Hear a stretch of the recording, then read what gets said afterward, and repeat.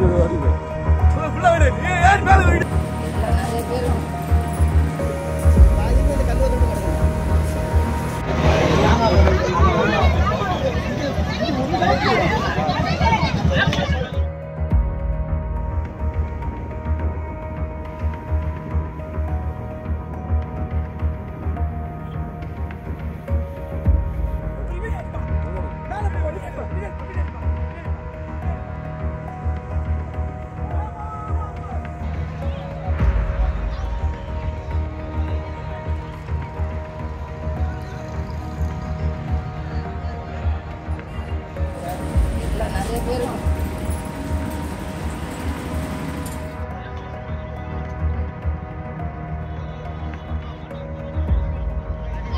Ana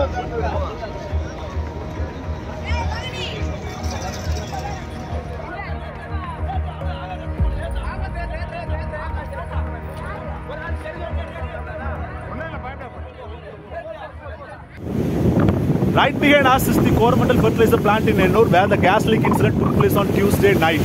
More than 40 people from the neighboring villages are admitted in hospitals and are being treated. Special medical camps have been set up in all the villages and people are complaining of eye irritation, sore throat and breathing difficulties.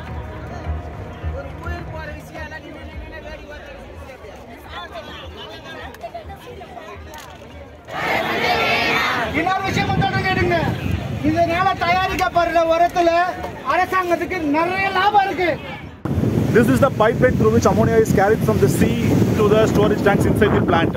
Right behind us is the one of those storage tanks. While the plant has been temporarily shut following the gas leak, locals are demanding permanent closure of the plant. What started as a road roco protest has turned into an indefinite strike demanding the permanent closure of the fertilizer plant in Ennore.